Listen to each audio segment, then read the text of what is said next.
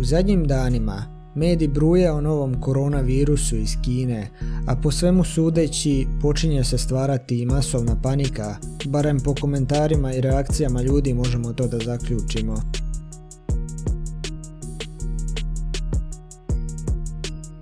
Pošto sam video da veći broj mojih gledatelja zapravo nije pretplaćen na moj kanal, zamolio bih vas da sada ostavite like na ovaj video, pretplatite se na kanal i kliknete zvonce.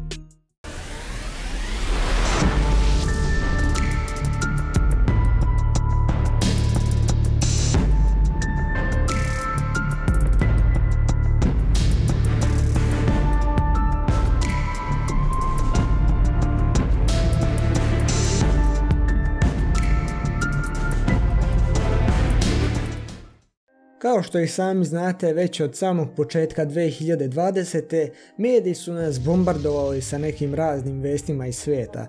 Znači prvo su bili požari u Australiji, sad je koronavirus, Nešto što mene lično zanima, a htio bih da čujem vaše mišljenje o tome u komentarima, jeste zašto mediji podižu toliku prašinu oko nekog virusa koji se pojavio u Kini i još uvijek nije bilo smrtnih slučajeva u Europi. Glavni razlog zašto uopšte i snimam ovaj video jeste zato što sam primijetio dosta u mojim komentarima da mi ljudi traže da snimim nešto o ovom koronavirusu, ali na način da ispada kao da oni misle da ćemo sada svi pomreti od toga. Video sam par komentara na mojim prošlim klipovima, bukvalno ljudi pišu koga briga za tu i tu temu i onako ćemo sad svi pomreti od koronavirusa. Znači bukvalno tako komentar glasi. Iskreno, kada su se prvi put pojavile vesti o ovome koronavirusu, imao sam neki osjećaj da će ova naša stoka od naroda početi da izbjegava kineze ovdje kod nas, znači neće ići u kineske radnje i tako to. Ali pomislio sam ono, Možda su ljudi ajde dovoljno inteligentni da shvate da ako se sad rukuju s kinezom u Hrvatskoj neće se odmah zaraziti. Međutim, pogrešio sam. Ali nakon što vidim ovakve šokantne naslove po internetu, više me ništa ne može začuditi. Kažu, Dubrovčanin ima koronavirus. Jeste, to će ispasti kao i onaj slučaj iz Đakova, ispašće kao i ovaj slučaj iz Vinkovaca da na kraju nema koronavirus, ali bitno da mediji pišu o tome i stvaraju paniku. 24 sata kaže, koronavirus se širi, samo je jučer umrlo najmanje 66 ljudi. Pa da, umrlo je u Kini verovatno. Ovakvih je naslova znači gomila, bukvalno mediji kao da žele da naprave masovnu paniku. Evo šta kažu kao koji su simptomi virusa. Virus uzrokuje upalu pluća, Izveštava se da oni koji se razbole imaju kašalj, vrućicu i otežano disanje. U teškim slučajevima može doći do zatajenja organa. Budući da se radi o virusnoj upali pluća, antibiotici nisu od koristi. Protiv virusni lekovi koje imamo protiv gripe neće delovati. Ako se oboleli primaju u bolnicu, mogu dobiti tako reći podršku za pluća i druge organe. Oporavak će ovisiti o snazi njihovog imunološkog sustava. Kineska državna zdravstvena komisija potvrdila je prenos sa čoveka na čoveka. Kada ovako nešto pročitate, verovatno se odmah uspaničite ono bukvalno da dotaknete nekog zaraženog, odmah ste i vi bolesni. Ali ne bi odmah da stvaram masovnu paniku samo zato što se virus pojavio na drugom kraju svijeta. Inače, ovaj video ne snimam kako bi vam sad objasnio nešto detaljnije oko koronavirusa, pošto to su već odradili youtuberi poput Gledaj ovo M-Media mreža idiokratija, tako da imate njihove vide, možete to pogledati ako vas nešto detaljnije zanima. Ovaj video služi prvenstveno da vam objasnim da nema potrebe stvarati masovnu paniku. Koronavirus primećen u Italiji. Do sada su potvrđena dva slučaja koronavirusa u Italiji. Radi se o dvoma kineskih državljana na odmoru u Italiji koji se trenutno leče izolirano u specijaliziranoj bolnici u Rimu. Hotelska soba u kojoj su boravili zapečaćena je i dezinficirana, dok zdravstvene vlasti uvjeravaju da su pacijenti izolirani čim su pokazali simptome. Italija je 31. januara proglasila izvanredno stanje, povećavši zdravstvene kontrole ljudi koji dolaze u Italiju i izdvojila je 5 milijuna eura za upravljanje situacijom u sljedećih 6 mjeseci. Svi direktni letovi između Italije i Kine od tada su obustavljeni. Tako da čini se kako naši susjedi već imaju problema s ovime, ali da li ovo treba da bude razlog za masovnu paniku koju mediji izgleda nesvesno stvaraju? Na web sajtu koji se naziva World O Meter možete vidjeti e, statistike oko ovog virusa, znači bukvalno imaju brojke koliko je zaraženih i koliko je umrlih. Prema trenutnim brojkama dok sad snimam ovaj video, trenutno ima 24.000 zaraženih, od kojih je 3.000 u kritičnom stanju, a do sada je umrlo 493. Također ovdje imate tablicu koliko je ljudi gdje zaraženo i koliko je ljudi umrlo. Do sada su bili smrtni slučajevi u samo tri države, to jest Kini gdje je umrlo većina, znači 491 i po jedna osoba u Hong Kongu i Filipinima. Kako prenosi BBC, Kina je optužila SAD za stvaranje masovne panike oko ovog virusa. Glasnogovornica kineskog ministarstva vanjskih poslova Hua Chun-ying rekla je da američke akcije mogu samo stvoriti i širiti strah, a ne da pomognu.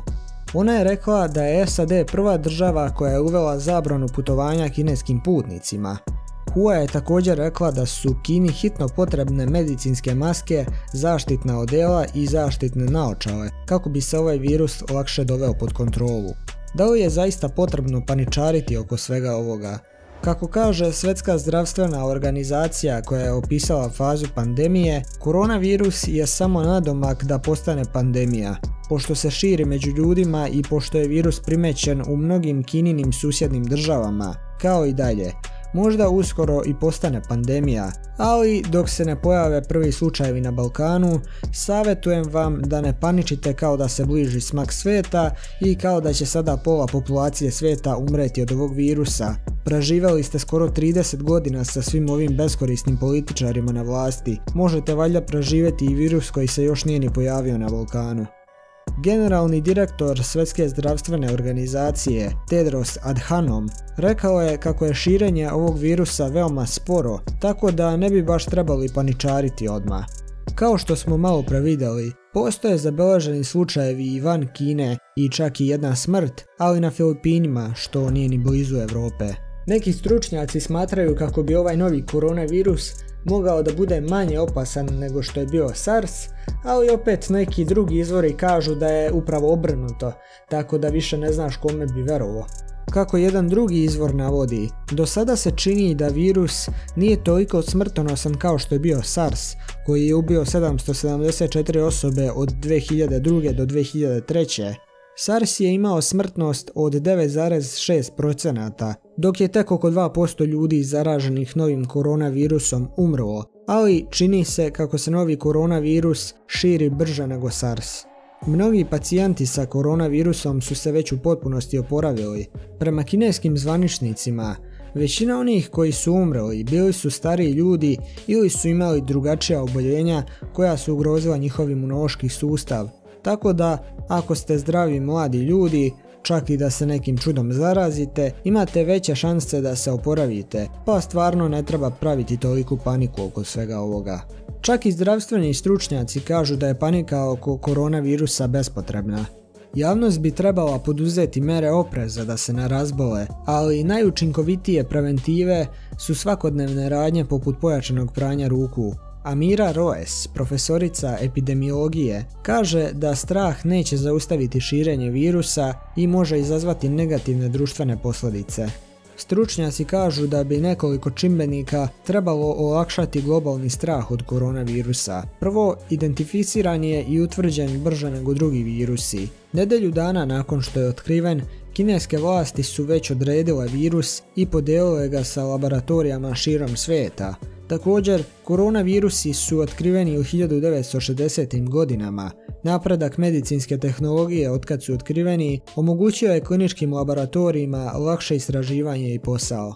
Ako niste nedavno putovali u Kinu ili ako niste bili u kontaktu sa nekim ko je zaražen od ovog virusa i potim ne mislim na svakog kineza u kineskim prodavnicama, onda mislim da ne trebate toliko paničariti. Čak i ako primetite neke simptome poput kašlja ili prehlade, to ne mora odmah značiti da ste se zarazili sa koronavirusom, to može biti obična prehlada. Ono u svakom slučaju posjetite doktora, ali baš nema razlika za toliku paniku.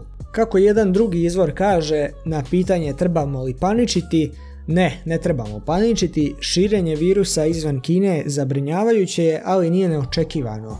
Povećava se vjerojatnost da će Svjetska zdravstvena organizacija proglasiti epidemiju, ali za nas sa Balkana je još uvijek previše rano da paničarimo, pošto još uvijek nije bio ni jedan potvrđeni slučaj u ovoj našoj regiji, tako da mislim da dok se ne pojavi neki potvrđeni slučaj nema potrebe za toliku paniku. Hvala što ste gledali ovaj video, ako vam se svideo ostavite like, subscribe, također ako vam nije mrsko zapratite me na mom Instagram profilu na kojem svaki dan objavljujem po neku zanimljivost. Tako da do idućeg videa, doviđenja.